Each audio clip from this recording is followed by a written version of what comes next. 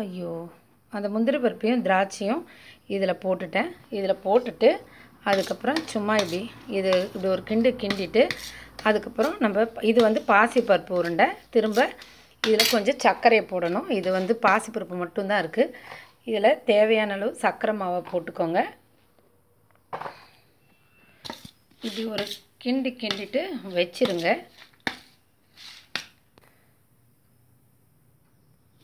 நெய் ஊற்றிட்டேன் நெய் ஊற்றினோடனே மாவு சர்க்கரை நெய் அவ்வளோதான் இதை இப்படி போட்டு ரொம்ப சூடாலாம் பிடிக்கணும்னு அவசியம் இல்லை.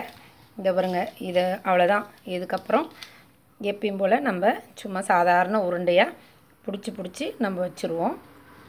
அவ்வளோதான் இது ஆறுனும் சூடாலாம் பிடிக்கணும்னு அவசியம் இல்லை. ஆறு லைட்டாக இருந்தால் போதும்.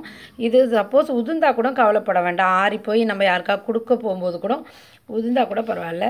அதையும் நம்ம என்ன பண்ணலாம்? அப்பயே சும்மா பிடிச்சாலே அது பிடிக்க வரும்.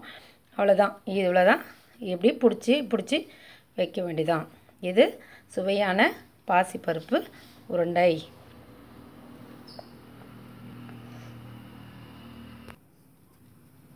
இப்போது சத்தான சுவையான பாசிப்பருப்பு உருண்டை கிடச்சிருச்சு. இதுதான் பாசிப்பருப்பை நல்லா வறுத்துக்கோங்க. வறுத்துட்டு பொடிச்சு வச்சுக்கோங்க. சர்க்கரை பொடியை சர்க்கரையை பொடிச்சு வச்சுக்கோங்க.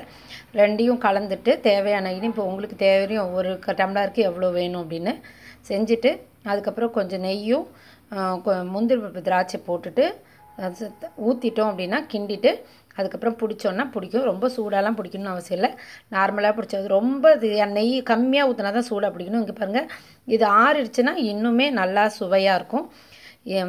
பிடிச்சிருந்தா லைக் பண்ணுங்கள் ஷேர் பண்ணுங்கள் சப்ஸ்கிரைப் பண்ணுங்கள் நன்றி வணக்கம்.